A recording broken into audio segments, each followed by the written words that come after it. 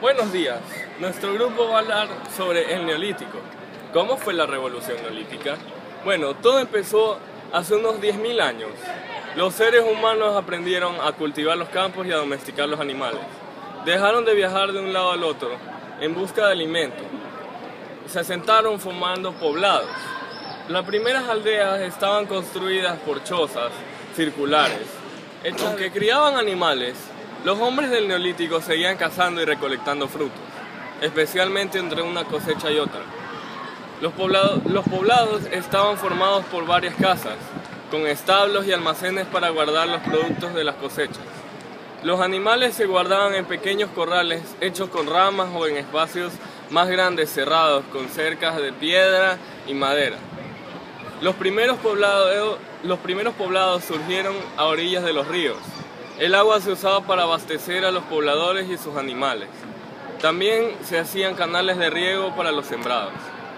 Todos los habitantes de la aldea habitaban comunitariamente en la preparación del campo, la siembra y la cosecha.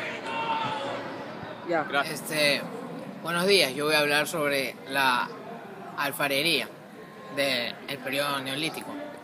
Los artesanos modelaban modelaban la arcilla a mano y luego la dejaban secar o la cocían en pequeñas hogueras que se encendían en el suelo.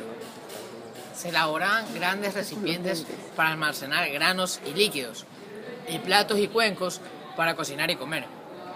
En muchos casos las cerámicas se decoraban con pinturas o incisiones. Este, la revolución agraria. En el neolítico se utilizaron pequeñas hachas de piedra para desbrozar y trabajar la tierra, hoces de madera para, para este, cegar los, eh, los cereales. El gran adelanto fue el arado, que consistía en ramas convenientemente sujetas que se arrastraban por el suelo, levantando y volteando la tierra. Esta herramienta se adaptó para ser traída por los animales. El arado mejoró las cosechas y alimentación de los humanos prehistóricos. Buenos días, yo voy a hablar sobre los sacerdotes y chamanes. Durante el Neolítico aparecieron los primeros sacerdotes y chamanes, cuya tarea era mantener, acrecentar y transmitir los conocimientos de la comunidad. Conocían los ciclos de la naturaleza e indicaban cuándo se debía sembrar o cosechar. También sabían enfermentarse a los espíritus malignos para curar enfermedades.